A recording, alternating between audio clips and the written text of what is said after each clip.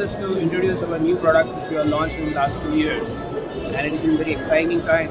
We have come up with something called as uh, ADAS uh, sensor training system. Right. Uh, there is a special solenoid valve with a very ultra low sound. So it has a dB level less than 50. Right. And it becomes very very apt for the passenger vehicle, especially autonomous vehicles. Right. Talking about here. So this is the valve we developed here, and uh, that's the uh, new launch. Apart from that, we have come up with a very innovative patented product, uh, which is again a CTIS Right. or it is also called as ATIS, Advanced Tire Inflation Systems, or Centralized Tire Inflation Systems, or sometimes it is called as, you know, Tire Monitoring and Refilling Systems, TPMRS. TPMRS.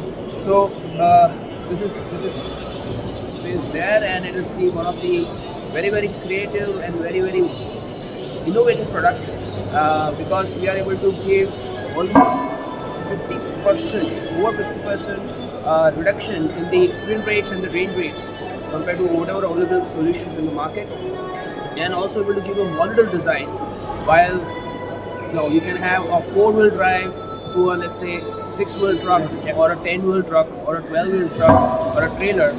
Now you can have a same system just put into a modules Right. and it can expand. So you do not have to buy a different different solutions.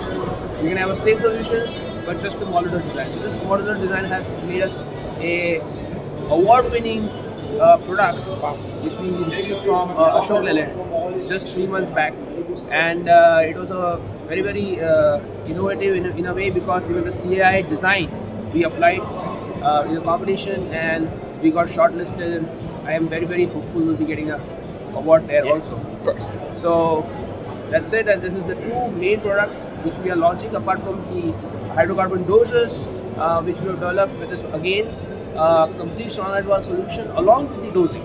Right. So this is again patented uh, product from India, and this would say we just don't make in India, we also design it in India and deliver it from India.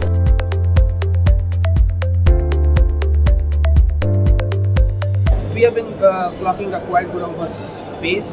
Uh, although uh, during the COVID time, only for one year we had a slippage of around 10% of our revenue, but we have come back. We grew almost by 25%, and this year we are predicted to grow almost by 35%. 35%. So that is for India level, and in Europe, uh, of course, almost uh, our 90% of our automotive business is coming from export. And if I say just the automotive business is just going to grow by 80%.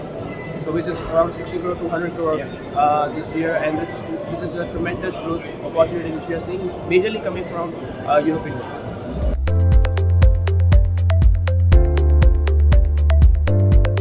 Of course, it's a completely a different thing because you always see in the uh, Times Teams meetings or a Zoom meeting, it's just a square box, and uh, and when you have a physical presence, it gives a really a good impact. And more than that, when you go and visit a stall, you're able to see real updates which are happening in the world.